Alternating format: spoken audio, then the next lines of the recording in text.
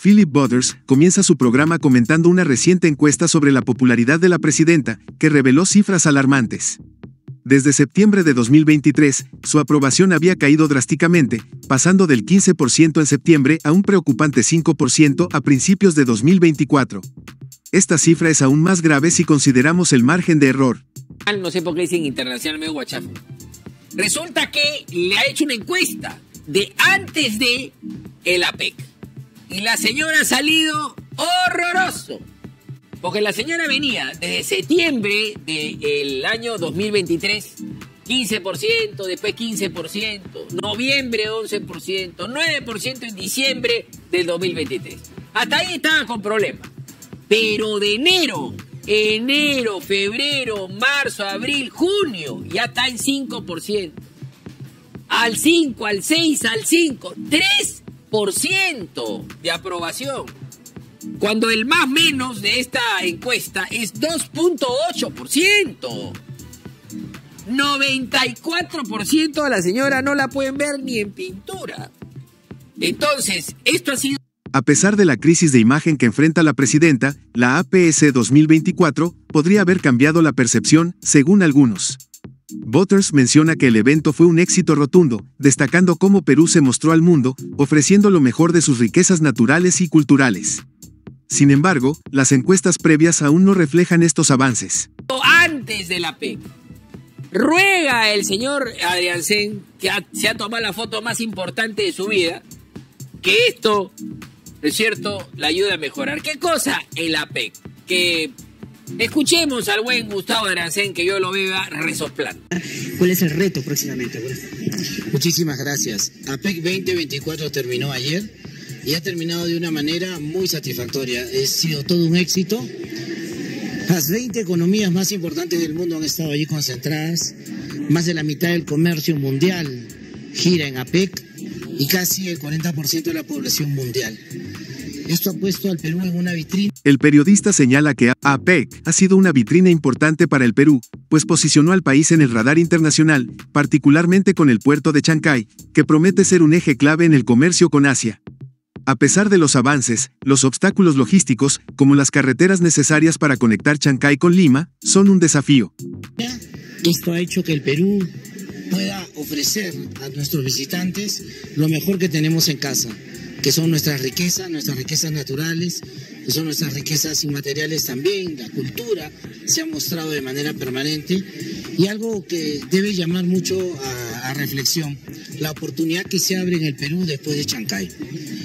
El Perú va a ser uno y otro después de Chancay, porque va a ser el puerto que va a trasladar mercancía hacia el Asia y va a recibir mercancía del Asia en cantidades que no se han visto nunca en nuestro comercio y porque va a ser mercancía peruana, pero también de los países de la región sudamericana. Butters insiste en que la estabilidad interna es clave para el crecimiento económico. El país necesita superar los problemas burocráticos, como el exceso de trámites y la sobrecarga de ministerios que obstaculizan el desarrollo. La inversión privada se ve frenada por estos obstáculos, lo que afecta la capacidad de Perú para crecer y exportar. Entonces, nosotros creemos que al puerto de Chancay, a la estación eh, aeroespacial que va a haber en Talara, que lo llaman el puerto espacial, a la ampliación del tratado con China, al nuevo tratado TLC con Hong Kong, a las donaciones que hemos recibido para el APEC de China, que hemos recibido del Japón, que hemos recibido de Corea, los tratados que se han firmado con Corea, por ejemplo, sobre gobierno digital, que lo hice yo personalmente. Tenemos tratados en agricultura, tenemos tratados en pesca, se han firmado, y esto es algo muy importante, 19 documentos en consenso.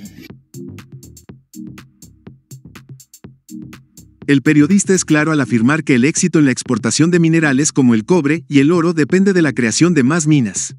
Sin nuevos proyectos de minería, no habrá suficientes recursos para exportar. Además, recalca que para que Chancay sea funcional, se necesita infraestructura adecuada, algo que aún está en desarrollo.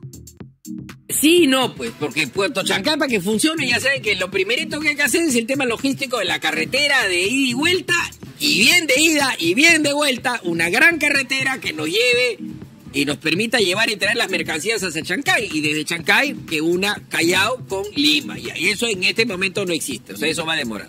Y claro, para que se aumente el comercio exterior, nuestras exportaciones, tenemos que ser un país estable, respetable, sin líos internos, intestinos. Tenemos que hacer nosotros la revolución hacia adentro. Mucho trámite, mucho ministerio, mucho asesor, mucho consultor, mucha mermelada.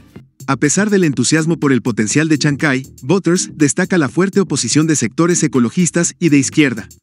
Los caviares y grupos antimineros se oponen al progreso, intentando frenar iniciativas clave como la construcción de caminos y el desarrollo de puertos, lo que ralentiza aún más el crecimiento del país.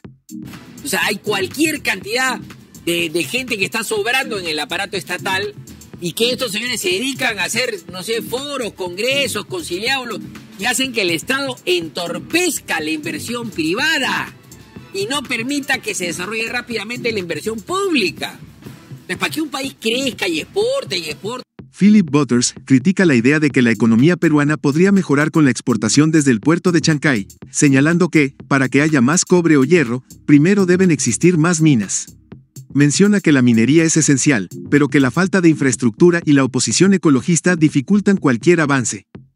O sea, hay cualquier cantidad de, de gente que está sobrando en el aparato estatal y que estos señores se dedican a hacer, no sé, foros, congresos, conciliados, y hacen que el Estado entorpezca la inversión privada y no permita que se desarrolle rápidamente la inversión pública. Pues para que un país crezca y exporte y exporte y exporte, no es por arte magia, no es que propusieron Chancay, ya un montón de contenedores se van a hacer. Y la merca dentro del contenedor, ¿quién la va a hacer? Y la minería, el oro que se vaya, el oro no se ve en barco, por si acaso se van aviones. ¿De dónde va a salir el oro? ¿Qué cosa se ve en barco? El cobre. El cobre sí se ve en barco. Bueno, para que haya más cobre tiene que haber más mina de cobre. ¿Qué parte no entiende Arancén? ¿No? Para que haya más este, minas de hierro tiene que haber minas de hierro. Y el hierro se exporta y seguramente se puede exportar y mucho a Argentina, por dar un ejemplo, y puede salir por el puerto de Chancay, porque no, no solamente se basa en Asia. El periodista también denuncia la falta de progreso debido a la burocracia y los movimientos ecologistas que frenan proyectos clave. Resalta que mientras los ecologistas se oponen a todo tipo de avances, el país sigue atrapado en una parálisis, afectando su competitividad en el comercio global. interna de la proinversión y, y una revolución interna de la, de la caída de los trámites y de la antiminería y de la antipisquería y del anti... Hay anti todo en el Perú. Los caviares se dedican y los ecologistas se dedican a que, no quiera que haga nada. A pesar de las críticas, Butters reconoce que las encuestas pre-APS muestran una leve mejora en la imagen del gobierno, pero se muestra escéptico. Asegura que, si se realizara una nueva encuesta, la desaprobación sería aún alta, especialmente debido a los problemas de la familia presidencial. dice que las encuestas han sido antes de la PEC. Eso implica que va a mejorar que si hoy día le hicieran a la señora una encuesta, yo penosamente creo que no va a mejorar. Independientemente si usted le cree o no le cree a, a, Datum o a cualquier otra encuesta, todo el mundo sabe lo del hermano. Y el hermano está en Salmuera. El periodista, sin embargo, mantiene la esperanza en que los esfuerzos silenciosos del gobierno, como los avances logrados con la APEC, empiecen a dar frutos. Cree que, con el tiempo, la población comenzará a confiar más en el gobierno, aunque destaca que la inseguridad ciudadana sigue siendo un desafío grave. La he leído temprano y mire usted, yo soy muy respetuoso de las encuestas, pero como me ve, yo camino por el Perú. Todas las semanas estoy en uno en dos lugares. Y yo lo que recibo son muestras distintas. Sin embargo, respeto lo dicho por las encuestas. A mí me ponen una baja popularidad muy significativa pero le quiero decir una cosa, esa encuesta también fue tomada antes de APEC. Confío en que después de APEC los resultados serán diferentes, pero confío sobre todo que el trabajo que estamos haciendo, silencioso, día a día, día a día, va a empezar a mostrarse a la población y ellos van a empezar a tener un poco más de confianza y también de eh, simpatía. ¿Será suficiente la APEC para revertir la caída en la popularidad de la presidenta? Déjanos saber tu opinión en la caja de comentarios y nos vemos en un próximo video.